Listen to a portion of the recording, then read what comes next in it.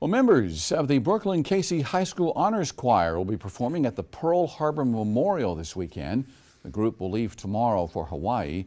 The trip has been postponed three years now due to COVID.